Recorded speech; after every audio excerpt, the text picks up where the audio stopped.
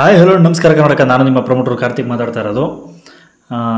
ತಮ್ಮಲ್ಲಿ ನೋಡಿ ನಿಮ್ಗೆ ಆಲ್ರೆಡಿ ಗೊತ್ತಾಗಿರ್ಬೋದು. ಯಾವುದ್ರ ಬಗ್ಗೆ ನಾನು ಮಾತಾಡ್ತಾ ಇದ್ದೀನಿ ಅಂತ ಅಂದ್ಬಿಟ್ಟು. ಹೌದು, ನೀವು ಗೆಸ್ ಮಾಡಿರೋದು ಕರೆಕ್ಟು ನಾವು ವೀರಪ್ಪನ ಸ್ಟೋರಿ ಬಗ್ಗೆ ಮಾತಾಡ್ತಾ ಇದ್ದೀವಿ. ಸೊ ಅದು ಅದು ಏನಪ್ಪ ಅಂತ ತಿಳ್ಕೊಳೋದಕ್ಕಿಂತ ಮುಂಚೆ ದಯವಿಟ್ಟು ನನ್ನ ಚಾನಲ್ನ ಮೊದಲು ಟೈಮ್ ನೋಡ್ತಾರೆ ಸಬ್ಸ್ಕ್ರೈಬ್ ಮಾಡ್ಕೊಳ್ಳಿ. ಆಲ್ರೆಡಿ ಸಬ್ಸ್ಕ್ರೈಬ್ ಮಾಡ್ಕೊಂಡಿರೋ ಪೂರ್ತಿ ವೀಡಿಯೋ ನೋಡಿ ಲೈಕ್ ಮಾಡಿ ಶೇರ್ ಮಾಡಿ ಕಮೆಂಟ್ ಮಾಡಿ. ಕಿಲ್ಲಿಂಗ್ ವೀರಪ್ಪನ್, ಹಾಗೆ ಅಟಾಸ ಒಂದಷ್ಟು ಮೂವಿಗಳು ಬಂತು ವೀರಪ್ಪನ್ ಬಗ್ಗೆ. ಅದರಲ್ಲಿ ತುಂಬ ಗಮನ ಸೆಳೆದಿದ್ದು ಅಂದರೆ ಅಟಾಸ ಅಟಾಸ ಮೂವಿನ ಎ ಎಂ ಆರ್ ರಮೇಶ್ ಅವರು ಡೈರೆಕ್ಷನ್ ಮಾಡಿದ್ದು. ಅಂದರೆ ಅವ್ರು ಮಾಡಿದ ಒಂದು ಸ್ಕ್ರೀನ್ ಪ್ಲೇ ಏನಿತ್ತು ಅದು ಎಲ್ಲೋ ಕಿಶೋರ್ ಅವರೇ ಕ್ಯಾರೆಕ್ಟರ್ನ ಇನ್ವಾಲ್ವ್ಮೆಂಟ್ ಆಗಿ ಮಾಡಿರೋ ಥರನೇ ಇತ್ತು. ನಮಗಂತೂ ಅದು ಒಂಥರ ಏನು ಗುರು ಈ ಥರ ಇದನ್ನ ವೀರಪ್ಪನ ವ್ಯಕ್ತಿ ಅನ್ನೋ ಥರ ಕಿಶೋರ್ ಅವ್ರು ಆ್ಯಕ್ಟಿಂಗ್ ಮಾಡಿದ್ದು. ಅದಾದಮೇಲೆ ಕಿಲಿಂಗ್ ವೀರಪ್ಪನ್ ಬಂತು. ಕಿಲಿಂಗ್ ವೀರಪ್ಪನ್ ಶಿವರಾಜ್ ಕುಮಾರ್ ಅವರು ಅಂದರೆ ಒಂದು ಪೊಲೀಸ್ ರೋಲ್ನ ಪ್ಲೇ ಮಾಡ್ತಾರೆ. ಆ, ಆ ಮೂವಿನೂ ಕೂಡ ಒಂದು ಸದ್ಯದ ಮಟ್ಟಿಗೆ ಅವತ್ತಿನ ಮಟ್ಟಿಗೆ ಒಂದಷ್ಟು ಕಲೆಕ್ಷನ್ಗಳನ್ನ ಮಾಡಿ ಒಂದು ಹಿಟ್ ಆಗಿರುವಂಥ ಚಿತ್ರ ಕಿಲ್ಲಿಂಗ್ ವೀರಪ್ಪನ್ ಇದಾದಮೇಲೆ ವೀರಪ್ಪನ್ ಸ್ಟೋರಿ ಬರಲೇ ಇಲ್ವಲ್ಲ ಗುರು ಅಂತ ತುಂಬ ಜನ ಎಕ್ಸ್ಪೆಕ್ಟೇಷನ್ ಮಾಡ್ತಾಯಿದ್ರು ಹೌದು.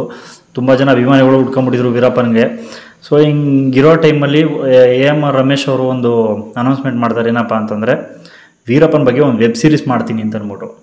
ವೆಬ್ ಸೀರೀಸ್ ವೆಬ್ ಸೀರೀಸ್ ಅನ್ನೋದು ನೀವು ಆಲ್ರೆಡಿ ನೋಡಿರ್ಬೋದು ನೆಟ್ಫ್ಲಿಕ್ಸು ಹಾಟ್ ಸ್ಟಾರು ಮತ್ತು ಅಮೆಝಾನ್ ಪ್ರೈಮಲ್ಲಿ ನೆಟ್ಫ್ಲಿಕ್ಸಲ್ಲೇ ಒಂಥರ ವಿಭಿನ್ನವಾಗಿ ತೋರಿಸೋಂಥ ಒಂದು ಸೀರೀಸ್ ಅದು. ವೀರಪ್ಪನ ಸ್ಟೋರಿನ ಎಳೆ ಎಳೆಯಾಗಿ, ಅಂದರೆ ವೀರಪ್ಪನ ಬಾಲ್ಯದಿಂದ ಹಿಡಿದು ಅವನು ಸಾಯೋ ತನಕ ಯಾವ ಥರ ಇದ್ದ, ಏನೇನು ಒಂದು ಕಾರ್ಯಗಳು ಮಾಡ್ದ, ಕೆಟ್ಟ ಕಾರ್ಯಗಳು ಮಾಡ್ದ, ಇದ್ರ ಮಧ್ಯೆ ಡಾಕ್ಟರ್ ರಾಜ್ಕುಮಾರ್ ಅವ್ರು ಕಿಡ್ನಾಪ್ ಆಗುತ್ತೆ.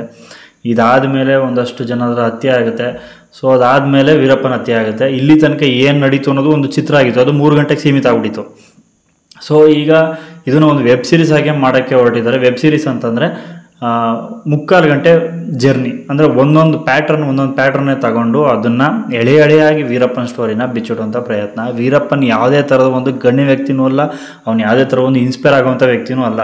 ಅವನಂಥ ಕೆಟ್ಟು ಹುಳ, ನನ್ನ ಪ್ರಕಾರ ಹೇಳಬೇಕು ಅಂತಂದರೆ ಅವನಂಥ ಕೆಟ್ಟು ಹುಳ ಇನ್ಯಾರೂ ಇಲ್ಲ. ಯಾಕೆಂದರೆ ಅವನು ಅಲ್ಲಿ ಅಲ್ಲಿ ಜನಗಳ ಪಾಲು ಒಂದಷ್ಟು ಜನಕ್ಕೆ ಹೆಲ್ಪ್ ಮಾಡಿರ್ಬೋದು.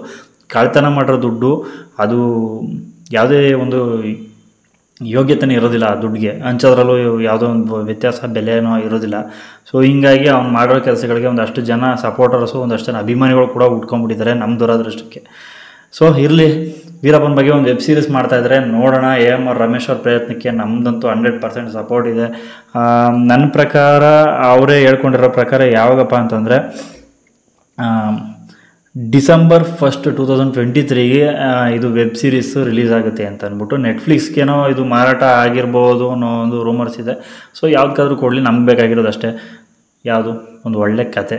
ಒಂದು ಒಳ್ಳೆ ಕತೆ ಅನ್ನೋದಕ್ಕಿಂತ ಈ ವ್ಯಕ್ತಿ ಬಗ್ಗೆ ಒಳ್ಳೇದನ್ನ ತೋರಿಸೋದಕ್ಕಿಂತ ಅವ್ನು ಮಾಡಿರೋದನ್ನ ಇದ್ದಿದ್ದಂಗೆ ತೋರಿಸಿದ್ರೆ ರಮೇಶ್ ಅವ್ರಿಗೆ ನಮ್ಮ ಕಡೆಯಿಂದ ಒಂದು ಆ್ಯಡ್ಸ್ ಆಫ್ ಅಂತಲೇ ಹೇಳ್ಬೋದು.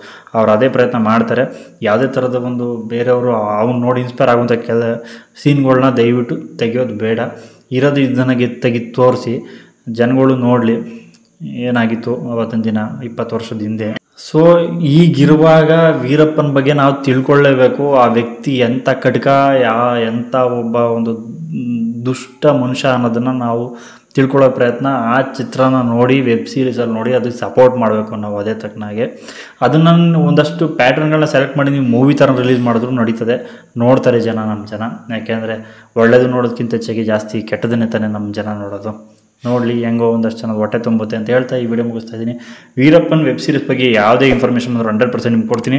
ಈ ವಿಡಿಯೋ ಇಷ್ಟ ಆಗಿರೋ ದಯವಿಟ್ಟು ಲೈಕ್ ಮಾಡಿ ಶೇರ್ ಮಾಡಿ ಕಮೆಂಟ್ ಮಾಡಿ. ಹಾಗೆ ಸಬ್ಸ್ಕ್ರೈಬ್ ಮಾಡ್ಕೊಂಡು ಈ ವಿಡಿಯೋ ನೋಡಿ ಅಂತ ಹೇಳ್ತಾ ಈ ವಿಡಿಯೋ ಮುಗಿಸ್ತಾ ಇದ್ದೀನಿ.